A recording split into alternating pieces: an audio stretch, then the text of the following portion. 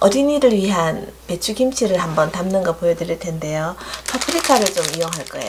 마트에 가면 파프리카 있죠. 이 삼색 파프리카를 이용해서 조금 맵지 않는 김치를 담을 텐데요. 또 고춧가루를 영 안 쓰는 건 아니고 조금은 씁니다. 먼저 찹쌀 풀 끓이는 거 보여드릴게요. 제가 필요한 찹쌀 풀은 두 컵인데요. 자, 종이컵으로 물을 한 컵 붓습니다. 그리고 찹쌀가루를 한 스푼 한 스푼 넣고요. 밥숟갈로 한 스푼 넣습니다. 그리고 미니 거품기거든요. 자, 거품기 쓰시면 바로 물이 뜨겁기 전에 저어줘야 돼요. 물이 뜨거워지면 뭉쳐지잖아요. 물론 뭉쳐져도 풀 수는 있습니다. 어차피 믹서기 돌릴 거기 때문에 이게 물이 한 컵이기 때문에 금방 벌써 뻑뻑해지죠. 금방 끓습니다. 배추 절이는 거는 상의모의 겉절이 김치에 가서 보시고요. 오늘은 제가 찹쌀풀 끓이는 거 다른 데서도 다루지만 여기서는 또 찹쌀풀 끓이는 것만 또 간단하게 한번 보여드릴게요.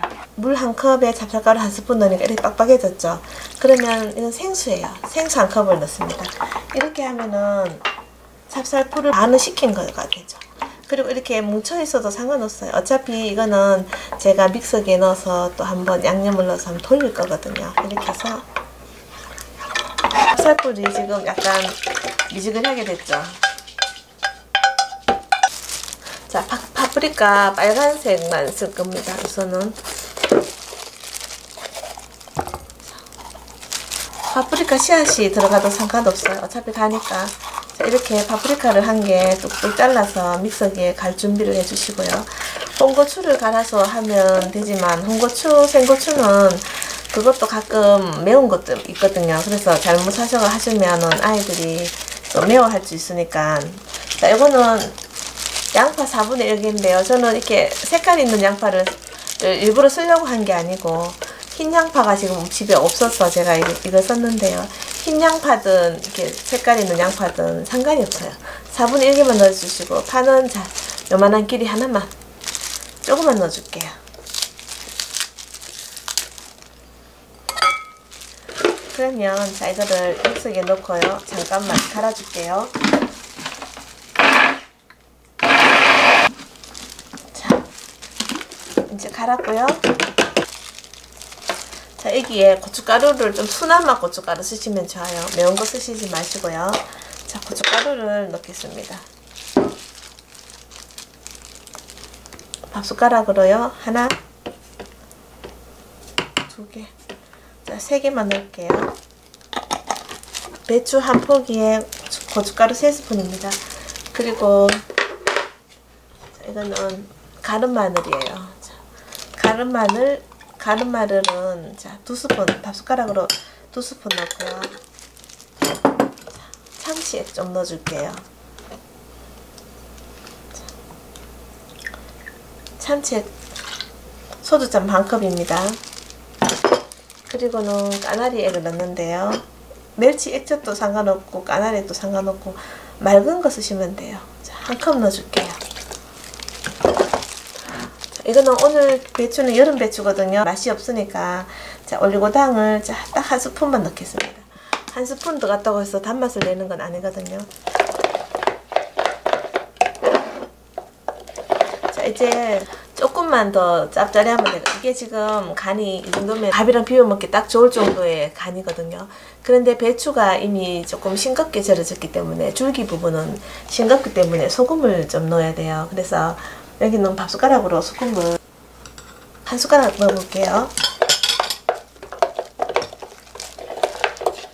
다 됐습니다. 이제 무치면 돼요. 배추 한 단 절인 거고요. 배추 절이는 거는 상호 이모의 겉절이 편에 가셔갖고 제가 상세하게 배추 하나에 자 종이컵 소금 하나로 절이는 걸 설명해 놨거든요. 그래서 그거 봐주시면 되고요. 자 이건 양념을 넣습니다.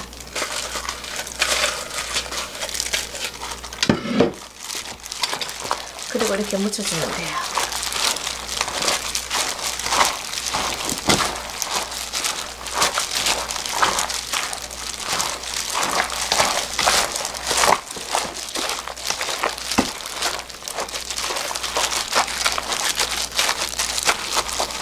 이렇게 묻혀주시면 되는데 자 기왕 파프리카 삶는 거이두 가지 색이 남았죠. 이 두 가지 색을 또 같이 예쁘게 조금만 잘라서 한번 넣어 볼게요.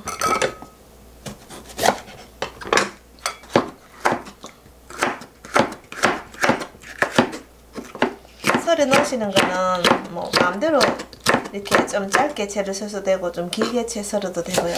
상관이 없을 것 같아요. 들어가면 모양이 혹시나 조금 더 이쁠까 싶어서 넣어주는 거니까요.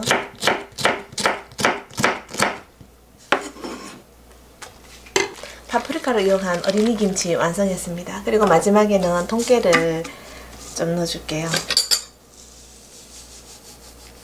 하나, 두 개.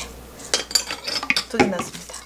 이래서 이건 아무래도 좀 익혀야 더 맛있겠죠. 바로 먹을 수 있으면 좋지만 또 우리 아이들 약간 새콤하게 익은 거도 좋아하더라고요. 그러니까 이렇게 해서 하면은 맵지 않은 어린이 김치.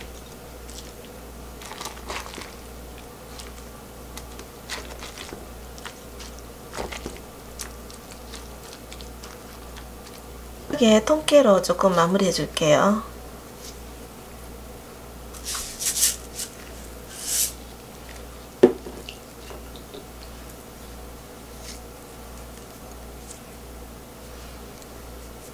이렇게 파프리카를 이용한 어린이 김치인데요. 물론 매운 거 못 드시는 어른도 드시면 좋아요. 이게 익으면 굉장히 시원하고 맛있는 김치가 됩니다. 상의모였습니다. 감사합니다.